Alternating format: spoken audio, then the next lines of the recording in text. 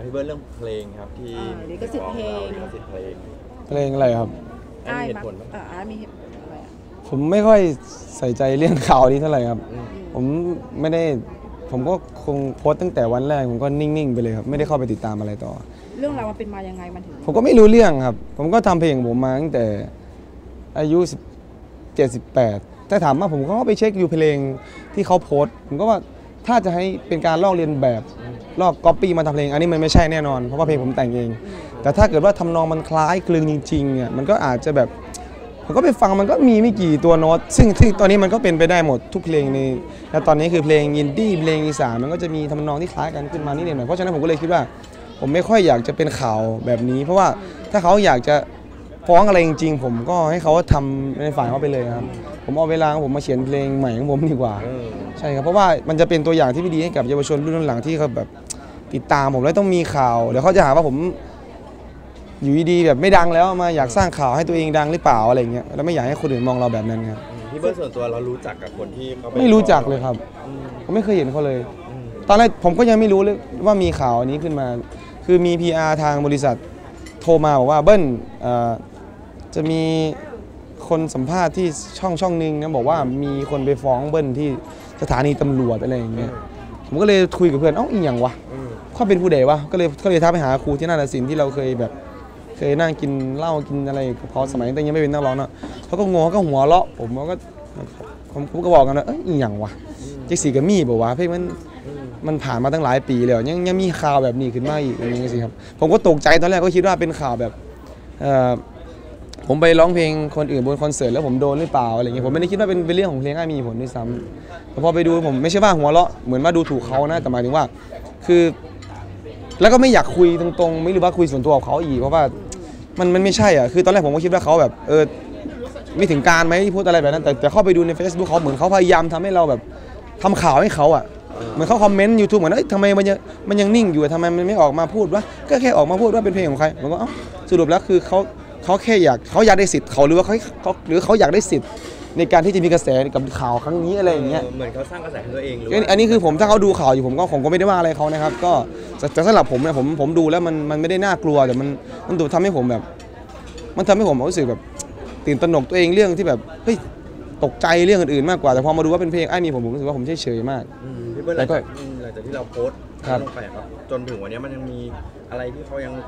ก็มีอันไว้เขาอะไรแบบนี้เขาก็คอมเมนต์ในเฟซของเขาครับแล้วก็มีเพื่อนเขาห้าหกคนอะไรอย่างเงี้ยแล้วเขาก็บอกตัดเพ้อตัวเองเหมือนกับว่า แต่ก่อนยอมรับว่าไม่สู้เพราะว่าเหมือนเราไม่ใช่ตัวใหญ่แล้วป่วยผมว่าคือพี่ถึงพี่จะสู้ผมผมก็ไม่สู้พี่อยู่แล้ว ผมผมไม่ทำร้ายพี่ ผมไม่ผมไม่ฟ้องอะไรพี่ ถ้าจะให้ฟ้องจริงอะคือลิขสิทธิ์นี้ผมจดกับ RS แล้วอะถ้า RS ฟ้องคืนอะเขาโดนหนักกว่าที่ผมจะฟ้องเขาอีก เพราะฉะนั้นเขาเขาแทบจะหมดตัวเลยครับเพราะเพราะนั่นคือมันเพลงผมจริงๆ ผมไม่ได้ไปอะไรกับเขาเลยอะไรอย่างเงี้ยเขามาปั่นเราไหมหรือว่าไม่ไม่ได้ทักเฟซอะไรมาเลยครับ ผมพยายามแบบพยายามไม่ยุ่งแล้วก็ผมก็คือวันนั้นที่ที่ผมมีข่าวนี้ผมก็ไปเอาคอนเสิร์ตตัวเองไปลงฟรีที่ Terminal โคราชนะครับผมก็ไปคอนเสิร์ตแบบ ผมก็เอาเอาเรื่องราวส่วนตัวที่มีความสุขมาแบบกลบเกลื่อนดีกว่าอะไรอย่างนี้ครับไม่ไม่ค่อยอินกับข่าวนี้แสดมางกว่าเรายืนยันว่าเพลงนี้เป็นเพลงของเรา เราเขียนเอง ผมก็แทบจะนอนยันก็ได้ครับไม่ต้องยืนก็ได้ครับอย่าให้ผมนั่ง เขียนมาตั้งแต่อายุสิบกว่า ก็คือสมัยนั้นเนี่ยคือผมก็ยังไม่รู้เลยนะครับว่า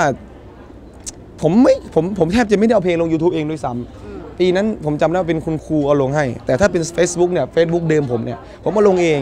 ตั้งแต่ปี 57 ด้วยซ้ำ58 ด้วยซ้ำนะครับก็คือมันมันมันก็คือเป็นเพลงที่ทำให้ผมมีคนรู้จักในโซเชียลตั้งแต่สมัยมี YouLike คลิปเด็ดมีเพจอะไรที่ดัง ๆ ตั้งแต่สมัยโซเชียลเราไม่ได้บูมแบบ มีเน็ตไอดอลเยอะมีเพจข่าวเยอะอะไรขนาดนี้ครับ คือตั้งแต่มันก็ยุคแรกๆห้าหกปีที่แล้วนะคนใกล้ตัวหรือคนรอบตัวเราใกล้ชิดเรารู้จักกับทางฝั่งโน้นไหมถึงแบบ ไม่มีใครรู้จักเขาเลยครับเออมาเขาเหมือนเขามาเกาะเราเออเพื่อที่จะให้เกาะกรแสเราดังหรือเปล่าผมไม่แต่ผมผมจะไม่มองแบบนั้นเพราะว่าดูลักษณะเขาพูดเขาก็เป็นเหมือนราชข้าราชการที่มีความคิดสูงอยู่นะ ตอนให้สัมภาษณ์หรือว่าตอนไปแจ้งความ ผมก็ว่าเขาเป็นคนที่มีอุดมการณ์สูง แล้วก็มันมีทัศนคติที่แบอกว่ารู้ว่าจะทำยังไงให้ชนะทำยังไงให้แพ้อะไรอย่างเงี้ยถ้าจะมองว่าเกาะกระแสก็มันก็มันก็เหมือนจะดูถูกเขาเกินไปว่าเราดัง ผมก็ไม่ได้ดังขนาดนั้นที่จะให้ใครมาเกาะกระแสผม แต่ผมขออยู่ของผมแบบนี้ดีกว่านะครับพยายามอย่ามาอะไรกับผมมากเลย เพราะว่าผมผมเป็นคนที่แบบไม่อยากทำร้ายใครไม่อยากเป็นข่าวอะไรกับใครในทางที่ไม่ดี ผมอยากทำเป็นข่าวในเรื่องที่มันมีประโยชน์ต่อสังคมมากกว่าทางบริษัท รู้เรื่องนี้หรือยังผมก็รู้ทุกคนผมก็ปรึกษาพี่เหมือนเขาไม่หยุดนะอะไรอย่างเงี้ยแต่ถามว่าเราก็บอกว่าหยุด แต่ผมจะนิ่งๆนะก็ไม่อยากมีอะไรมากถ้าหลัไม่งอยาจากกนี้เขายังไม่หยุดไม่อะไรอย่างเงี้ยครับเพื่อนจะทำไงต่อก็ต้องดูอีกทีนึงครับว่าถ้าเกิดเขาแบบมีมาตรการที่มันแบบสูงขึ้นพยายามทำให้เราเสื่อมเสียในทิศทางที่ไม่ดีมันอันนั้นมันก็มันมันสอดมันมันสื่อถึงการที่เขากำลังจะทำลายชื่อเสียงของเราแล้วก็บริษัทเราอะครับเพราะฉะนั้นมันก็ต้องมีการติเตือนกันหน่อย แต่ไม่ถึงขั้นต้องแบบเอาเปรียบหรือทำร้ายเขาอะไรเงี้ยซึ่งผมบอกให้เขารู้ตรงนี้เลยนะว่า ผมไม่ได้เป็นผู้ใหญ่หรือว่าไม่ได้มีเงินเยอะกว่าเขาหรอกที่จะทำร้ายเขาในเรื่องของสารอะไรต่างๆ ถ้ามีเวลาว่างจริงๆถ้าแบบโกรธผมจริงๆ หรือแบบอยากได้อะไรสิทธิอะไรจริงมานั่งกินข้าวก็ได้นะเออผมเลี้ยงข้าวก็ได้คุยกันตรงๆว่าเป็นอะไร อยากอยากอยากมีเพลงหรือว่าอยากให้ผมแชร์อะไรช่วยอะไรเงี้ยก็บอกผมตรงๆดีกว่าเออดีกว่าจะมาแบบให้ผมต้องไปยุ่งอะไรด้วยอะไรอย่างงี้ครับ แล้วหลังจากเนี้ยเวลาเราจะเขียนเพลงคิดเพลงอะไรเนี้ยเราจะต้องมีความรอบคอบกว่าเดิมไหผมคิดว่าคือณสณณขณะนี้ผมเป็นศิลปินของ RS นะครับทุกเพลงที่เราเขียนมาแล้วทำแหละมันเป็นลิขสิทธิ์ของ RS อยู่แล้ว มันไม่เป็นสิทธิ์ของเราเห็นอยู่แล้วว่าเออเราทำโดยชอบทำทั้งจดลิขสิทธิ์อะไรถูกต้องตามกฎหมายอยู่แล้วเพราะฉะนั้นสิ่งนี้ผมไม่ค่อยห่วงครับ แต่ผมจะห่วงแค่เพลงแบบเก่าๆที่เรายังไม่ได้เอามาทำอะไรอย่างเงี้ยแล้วมันจะมีคนไปแอบแฝงเอาไปทำก่อนแล้วอ่าแล้วแล้วมาเรียกสิทธิ์คืนแบบนี้หรือเปล่าอะไรเงี้ยแต่ผมก็ไม่กังวลหรอกครับเพราะเพราะยังไงผมคิดว่า เพชรก็คือเพชรนะครับอ่าอืมคือจะจะจะแบบตกไปอยู่ในแม่น้ำมหาสมุทรที่ลึกประมาณหลายร้อยเมตรมันก็ยังคือเพชรนะฮะมันก็เป็นของตัวเองมันก็คือเป็นของเราอะครับแล้วถ้าสิ่งไหนที่มันไม่ใช่ของผมผมก็ต้องยอมรับว่าครับผมผมเคยฟังเพลงนี้แล้วผมไปก๊อปเข้ามา ผมก็ต้องยอมรับอืมว่าเออผมผมชอบตัวนองเพลงนี้นะเพราะสมัยนั้นผมยังไม่ได้มีโอกาสได้แบบ เข้ามาอยู่ค่ายใหญ่ ผมอาจจะไปฟังเพลงคนอื่นเยอะแล้วก็ ทำให้มันคล้ายอะไรอย่างเงี้ยก็อาจก็อาจจะใช่อะไรอย่างงี้ครับ แต่ณตอนนี้คือผมยืนยันว่าอ้ามีผลผมไม่ได้ไปฟังอะไรคนอื่น ผมไม่ได้ผมไม่ได้ไปก๊อปปี้เขาอะไรอย่างงี้ครับก็แค่นั้นครับอืมแสดงว่าหลังจากนี้ไปถ้าเกิดยังไม่หยุดนี่ก็คือจะมีทางก็ก็อาจจะมีอาจจะมีบ้างถ้าถ้าถ้าเป็นไปได้ถ้าเขาแบบคุยดีๆอะไรอย่างเงี้ยก็ก็ก็คืออาจจะคุยแต่แต่ในลักษณะที่เขาทำตอนนี้คือผมโทษนะครับผมผมอาจจะพูดไทยไม่ไม่ค่อยแข็งแรงผมตกอีสานก็คือว่าแบบที่เขาเห็นมันมันมันเป็นการแบบเจาะ เจาะประเด็นจากของแบบจริง ๆ เลยครับคือไปแจ้งแจ้งความอะคือลักษณะคือตำรวจก็รับรับความไว้อยู่แล้ว คือเขาต้องแบบรับความของประชาชนไว้อยู่แล้วใช่ไหมครับแล้วเนี่ยคือมาทำเป็นข่าวอีก คือผมขออนุญาตพูดช่องไม่ได้นะไม่ต้องพูดช่องดีกว่าก็คือมันมันมันมันมันลักษณะมันมันไม่โอเคอยู่แล้วครับสำหรับผมถ้าเกิดผมเป็นคนที่แบบใจร้อนหรือว่า แบบสติแตกเหมือนแต่ก่อน ผมก็อาจจะแบบเฮ้ยอะไรวะมันไม่ยอมนะมึงต้องอะไรเงี้ยแต่คือผมก็มีคุณอาคุณน้าเป็นอายการเป็น ทนายก็เยอะครับ เราก็ไม่ให้เขาแบบเข้ามายุ่งอะไรกับเราเรามีแต่ปรึกษานิ่งๆดีกว่าอะไรแล้วเงี้ยเรื่องนี้กระทบกับเราโดยตรงไหมหรือยังไงไม่ไม่ไม่ไม่ครับสบายจริงๆอะถ้าถามในมุมของผมนะถ้าแฟนคลับที่เขารู้เขาก็จะคอมเมนต์ให้กำลังใจเราแหละแต่เราจะไม่อยากให้มองแบบนั้นหรอกว่า ก็ใช่ดิก็แฟนคลับมึงอะเขาก็ต้องติดตามมึงให้กำลังใจมึงอยู่แล้วว่ามึงถูกเสมออะไม่ใช่นะครับ คือคนที่ไม่เคยเป็นติดตามผมก็รู้ว่าเพลงนี้มันมันไปกลับไปฟังของเขามันไม่ใช่มันไม่ใช่มันมันบอแมนอะมันมันมันบอใช่อะ มันคือมันมันมันไม่ได้แบบคือมันไม่ตลกอะพี่มันมันไม่ตลกเลยอะสำหรับผมนะ ถ้าเกิดวันนี้ผมแบบเป็นนักร้องไส้แห้งแล้วแบบ